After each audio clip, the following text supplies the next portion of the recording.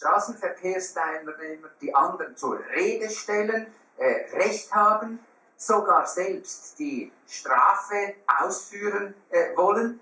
Da äh, muss man immer wieder sagen, wir leben unterdessen in einer aufgeklärten Gesellschaft, die es erreicht hat, dass es alleine der Staat ist, der äh, bei einem Delikt die Strafen äh, verhängt und nicht äh, ein Straßenverkehrsteilnehmer. Aber dieser Urtrieb, den anderen belehren zu wollen, das beginnt mit irgendwelchen Handzeichen äh, via, via äh, Kopf bis zu äh, täglichen Auseinandersetzungen, das können wir tagtäglich, äh, spielt sich das auf den Straßen ab.